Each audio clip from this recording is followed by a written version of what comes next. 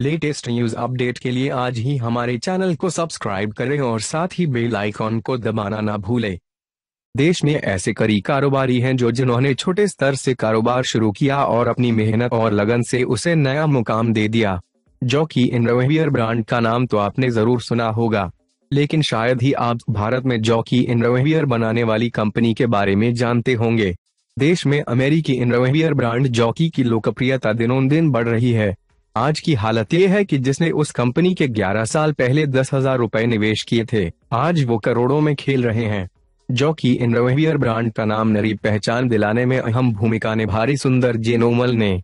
देश में अमेरिकी इनरोवियर ब्रांड जॉकी की मैन्युफैक्चरिंग, मार्केटिंग और डिस्ट्रीब्यूशन करने वाली कंपनी पेज इंडस्ट्रीज़ है, जिसके मालिक सुंदर जेनोमल है। जिस तरह कंपनी ने जॉकी ब्रांड को देश में लोकप्रिय बनाया है पेज इंडस्ट्रीज़ की शुरू होने की कहानी बड़ी दिलचस्प है। फिलीपींस के मनीला जन्म सुंदर जेनोमल साल उन्नीस सौ चौरानवे में भारत में आए थे। उनकी बहन बेंगलुरु में शिफ्ट हुई थी, जिनके साथ वो कुछ रहने के लिए यहाँ आए थे। साथ ही वो भारत में, इसके अलावा वो भारत में बिज़नेस के मौके की तलाश में भी थे। इंडियन मार्केट देखने के बाद उन्होंने यहाँ पर जॉकी इन का डिस्ट्रीब्यूशन शुरू किया।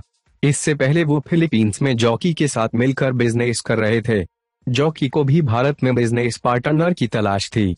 इसलिए सुंदर ने जॉकी के साथ मिलकर भारत में बिज़नेस करने की शुरुआत की। और देखते ही देखते कंपनी चार सालों में ही मुनाफे की कंपनी बन गई। पेज इंडस्ट्री ने फरवरी 2007 में स्टॉक मार्केट में एंट्री थी, जिसके आईपीओ का पहला एशियन प्राइस 360 से तीन सौ था। 16 मार्च 2007 को पेज इंडस्ट्रीज़ का शेयर बीएसआई पर तीन रूपए और नेशनल स्टॉक एक्सचेंज पर तीन रूपए पर लिस्ट हुआ था।